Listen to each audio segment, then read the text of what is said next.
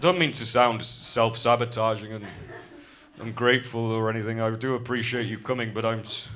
Sometimes I'm just like, what am I? It's just another white middle class guy talking about how hard it is being fine.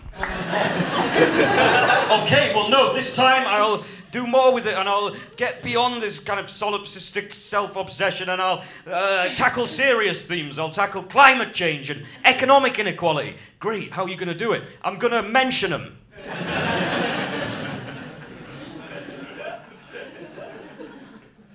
And I do, uh, and I try, and as soon as I say anything, I feel like it's immediately buried under strata and strata of geological cliche.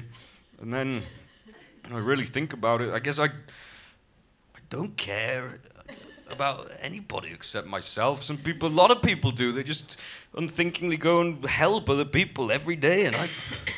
I, I try, like, I'll watch the news and try to inform myself about important affairs and human suffering, but I don't feel, I can take it in, like, informationally, but I never feel anything when I'm, like, I'll be looking at a picture of a dead polar bear, you know, printed it off to make it more resonant.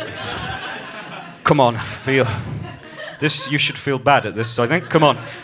It's a perfect embodiment of a big abstract problem, and he's a big, beautiful white beast, and now he's all dead and dirty because of man's greed.